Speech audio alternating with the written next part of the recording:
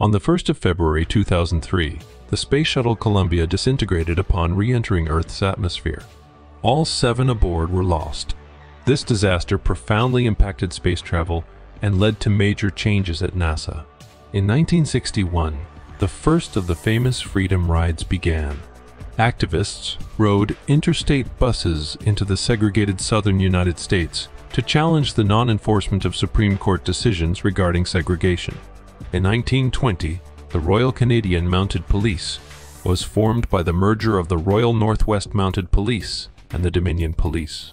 The RCMP, known for their distinctive red uniforms and hats, is a symbol of Canada. The first edition of the Times of London was published on February 1, 1785. Originally named the Daily Universal Register, it became one of the world's most influential newspapers, still in circulation today. On February 2, 1887, Groundhog Day was first celebrated in Punxsutawney, Pennsylvania. According to folklore, if the groundhog sees its shadow, there will be six more weeks of winter. In 1848, the Treaty of Guadalupe Hidalgo was signed, ending the Mexican-American War. This gave the U.S. a massive amount of territory along the southwest, including present-day California.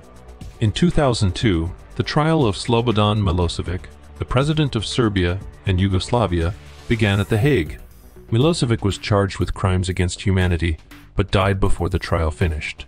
And in 1943, one of the deadliest battles in human history, the Battle of Stalingrad, ended with the Soviet Union's victory over Nazi Germany.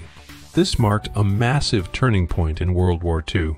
On February 3, 1959, rock and roll musicians Buddy Holly, Ritchie Valens and JP, the Big Bopper Richardson, died in a plane crash near Clear Lake, Iowa.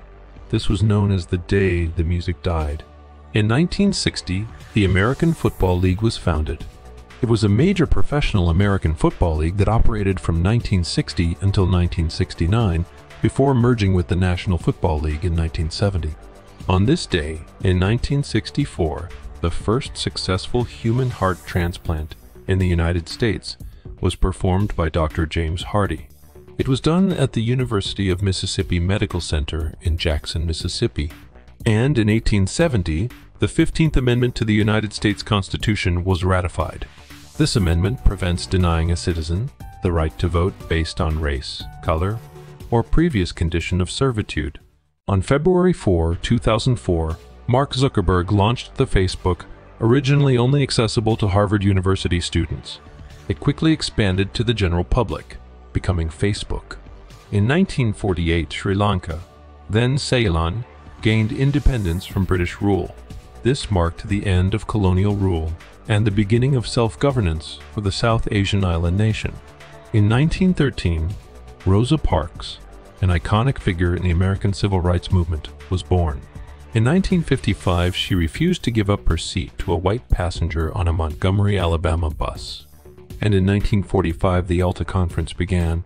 President Franklin D. Roosevelt, Prime Minister Winston Churchill, and Premier Joseph Stalin met to discuss the reorganization of post-war Europe. On February 5, 1554, Elizabeth I, one of England's most influential and iconic monarchs, officially began her reign. Her government is known as the Elizabethan era and English Renaissance. In 1917, Mexico adopted its current constitution, which was a major milestone following the Mexican Revolution. This document established significant social reforms and began modern Mexico. In 1971, Apollo 14 the eighth crewed mission in the United States Apollo program became the third mission to land on the moon. Alan Shepard famously hit two golf balls on the lunar surface. And in 1982, Hank Aaron, one of the greatest baseball players of all time, was inducted into the Baseball Hall of Fame. Aaron broke Babe Ruth's home run record in 1974 and eventually set his own of 755. February 6, 1840, New Zealand was founded by the signing of the Treaty of Waitangi. The signing of this document established a relationship between the indigenous Maori people and the British Crown. In 1935, Parker Brothers received the patent for the board game Monopoly, one of the world's most famous and enduring board games. the popular game has been published in numerous versions and languages. In 1945, the legendary reggae musician Bob Marley was born in Nine Mile, Jamaica. Marley's music, which promoted peace, love, and social justice, left a lasting impact and continues to influence musicians globally. And in 1952, Elizabeth II became Queen of the United Kingdom and the other Commonwealth realms, following the death of her father, King George VI. She reigned the longest of any British monarch. On February 7, 1984, astronauts Bruce McCandless II and Robert L. Stewart made history by performing the first untethered spacewalk, flying outside the space shuttle. In 1990, the dissolving of the Soviet Union had a pivotal moment when the Soviet Communist Party agreed to give up its monopoly on power. This after the Berlin Wall came down the year before. In 1812, Charles Dickens was born. He was an English novelist and social critic who created some of the world's best-known characters. He was one of the greatest novelists of the Victorian era. And in 1940, the animated film Pinocchio had its world premiere. It was one of Disney's most beloved classics, known for its animation and compelling story of a puppet who wants to be a real boy. On the 8th of February, 1587, Mary Queen of Scots, rival of Queen Elizabeth I of England, was beheaded at Fotheringhay Castle. Her execution was marked by the great dignity with which she met her fate. In 1932, John Williams was born. He is the American composer who created some of the most iconic film scores of all time. He scored more than a hundred films, many of which were directed by Steven Spielberg. In 1971, the Nasdaq stock market began operations as the world's first electronic stock market. At the time it opened, it was merely a quotation system and did not provide a way to perform electronic trades. And in 1976, the American film Taxi Driver, directed by Martin Scorsese, had its world premiere. The drama was especially known for the performance of young Robert De Niro, a mentally unstable veteran. On February 9, 1942, Carole King was born, one of the most successful female songwriters of the latter half of the 20th century. She wrote or co-wrote 118 pop hits on the Billboard Hot 100. On this day, in 1959, the world's first intercontinental ballistic missile became operational. The Soviet R-7 Semyorka missile had a range of 8,800 kilometers or 5,500 miles on this day in 1964, the Beatles began their first tour in the United States. Their appearance on The Ed Sullivan Show was a seminal moment in rock and roll history, starting the British invasion. And finally, on this day, in 1969, the Boeing 747 flies for the first time. The Jumbo Jet was the world's largest passenger aircraft at the time, becoming the commuter train of the global village. On the 10th of February, 1306, Robert the Bruce, of Braveheart fame, murdered John Comyn in front of the high altar of Greyfriars Church in Dumfries, sparking the revolution in the Wars of Scottish Independence. In 1906, the HMS Dreadnought was christened. The Royal Navy battleship represented such an advance in naval technology that her name, Dreadnought, came to be associated with an entire generation of battleships.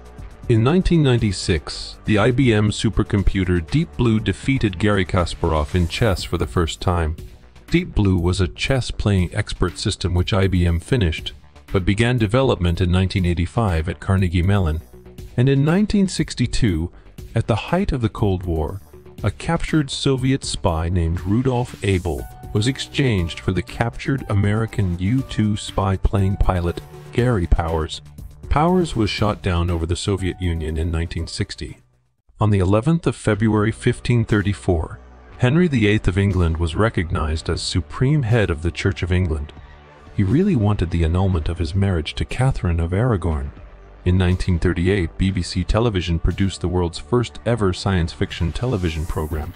It was an adaptation of a section of the Karl Čapek play RUR and coined the term robot on this day in 1990, Nelson Mandela was released from Victor Verster Prison outside Cape Town, South Africa, after 27 years as a political prisoner, an important moment in South African history.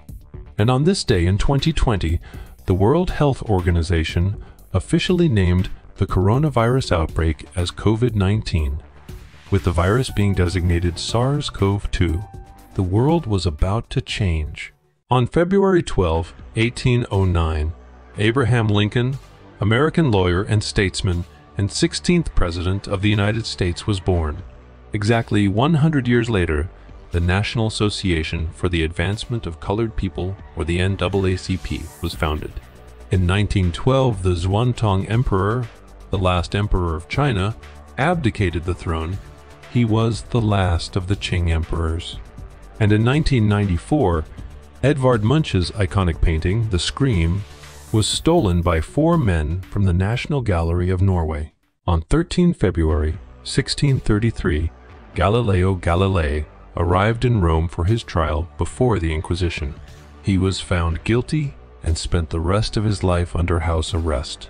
In 1913, the 13th Dalai Lama proclaims Tibetan independence following a period of domination by Manchu Qing dynasty.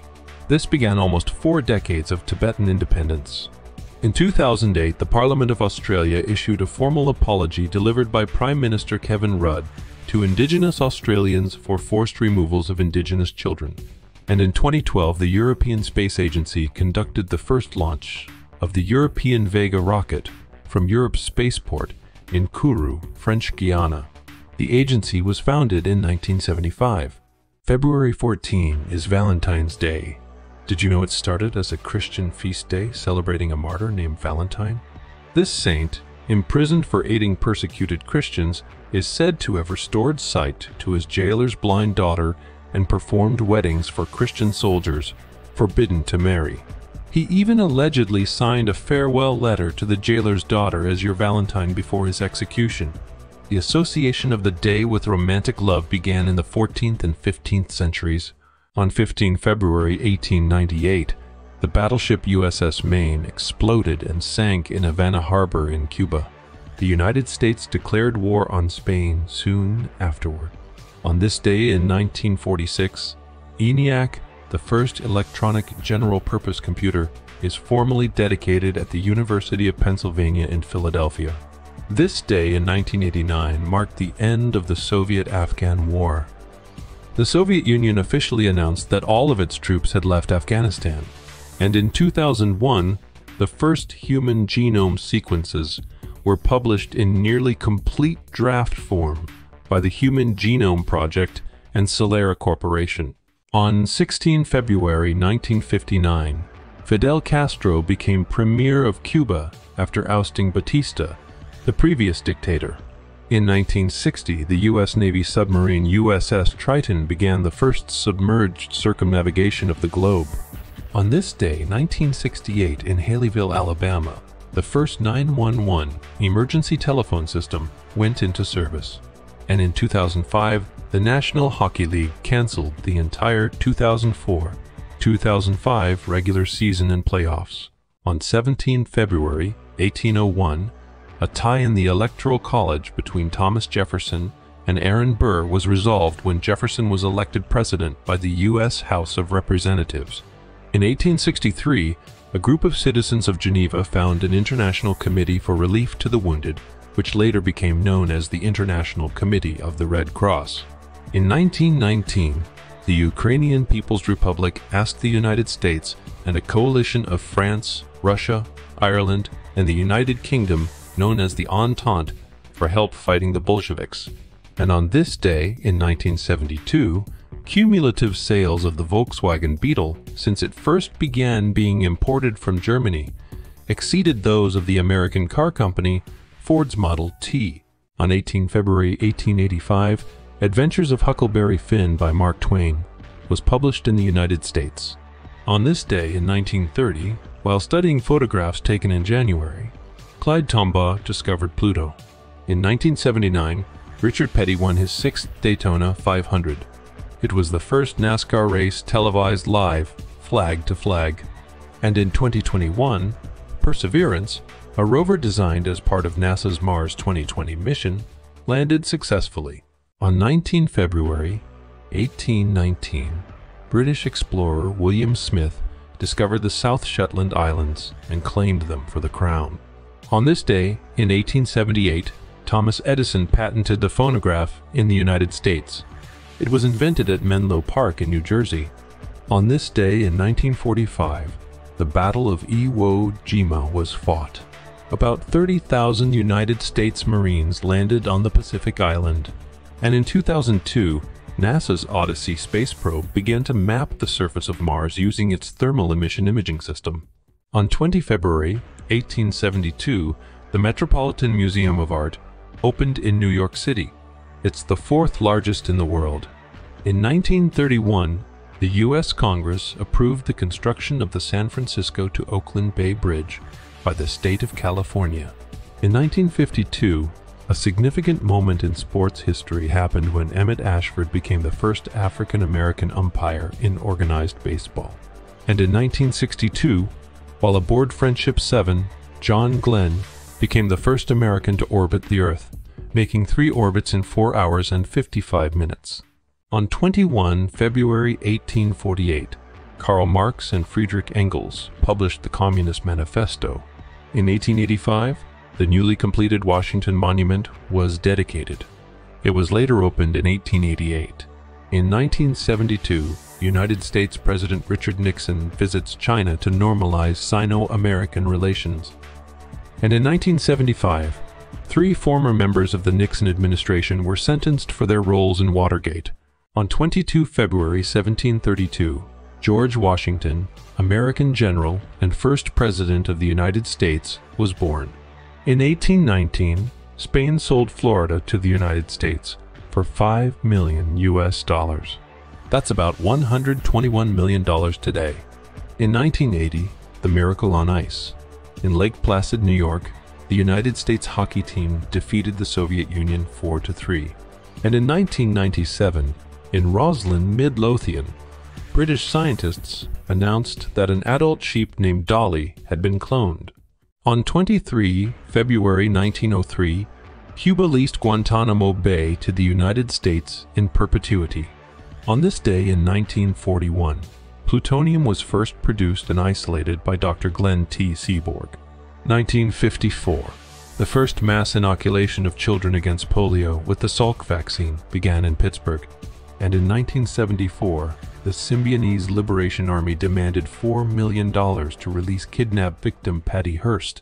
On the 24th of February, the founder of Apple and Pixar, Steve Jobs, was born. His influence in the world of computing and design can still be felt to this day. In 1868, Andrew Johnson became the first president of the United States to be impeached by the House of Representatives. He was later acquitted in the Senate by one vote. In 1920, Nancy Astor became the first woman to speak in the House of Commons of the United Kingdom, following her election as a Member of Parliament three months earlier. And in 1991, during the First Gulf War, ground troops from a coalition of countries crossed the Saudi Arabian border and entered Iraq, thus beginning the ground phase of the war. On the 25th of February, 1870, Hiram Rhodes Revels, a Republican from Mississippi, became the first African American United States Senator. Strangely, this day has many events related to the Soviet Union. In 1921, Tbilisi fell to invading Russian forces, beginning the Georgian Soviet Socialist Republic. 1956, in his speech on the cult of personality and its consequences, Nikita Khrushchev, leader of the Soviet Union, denounced Stalin in what is known as the secret speech and in 1991 the Warsaw Pact was disbanded at a meeting of its members in Budapest. Incredibly, the Soviet Union was disbanded later that same year in December.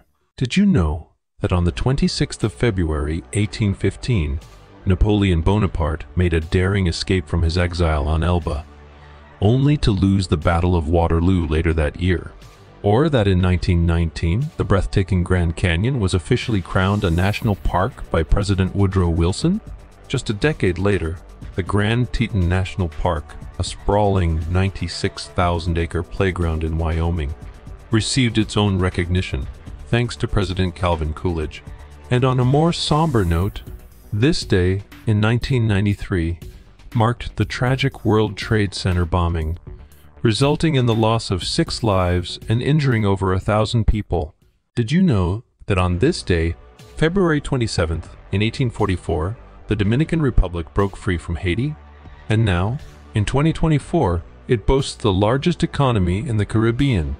In the U.S., February 27, 1951, marked a significant shift in presidential politics, with the ratification of the 22nd Amendment limiting presidents to just two terms. Back to the Dominican Republic, this day, in 1963, saw the election of their first democratically elected president, Juan Bosch, marking the end of Rafael Trujillo's dictatorship.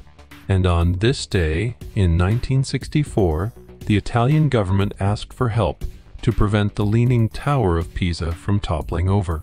It was stabilized in 1993 when 870 tons of lead weights were added to it.